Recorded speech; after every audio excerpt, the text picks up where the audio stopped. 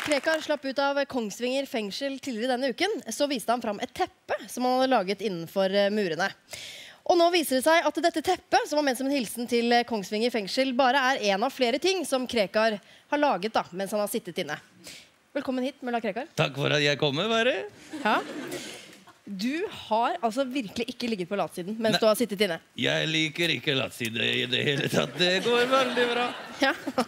Du har rett og slett laget din egen kolleksjon Ja. med håndarbeider, da. Jeg elsker strikkeveve. Veldig glad. Så bra. Ja. Kanskje vi kunne få se på, på noe av det du har laget? Det kan vi se på. Ja, Du har laget flere tepper, blant annet. Ja, jeg har laget nytt teppe. Lang teppe. Denne er til inngangen i huset. Så står det 'Hjertelig velkommen inn'. Det er jo veldig hyggelig, da. Ja. Veldig koselig, unntatt hvis du er en respektløs liten hore. Med vennlig hilsen Krekar. Krekar dessert. Så slipper du å få sånne drittfolk inn i huset. Ja.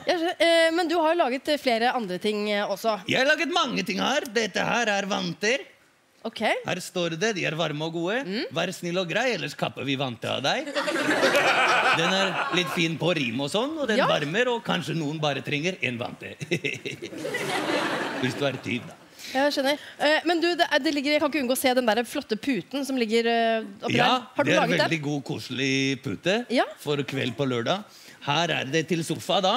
Så står det 'slapp av og kos deg'. Ja, det er jo en skikkelig koselig Ja, pute. med mindre du er kvinne eller hund, gå tilbake på kjøkkenet med deg. Krekar design. Skjønner. Den er veldig fin, da. Den er også litt sånn Du kan velge. Har du godt humør, slapp av og kos deg. Dårlig humør, du er hund, gå på kjøkken. Den er, den er fin nå i høstens farge. Ok. Men, men Krekar, får du solgt mye av dette?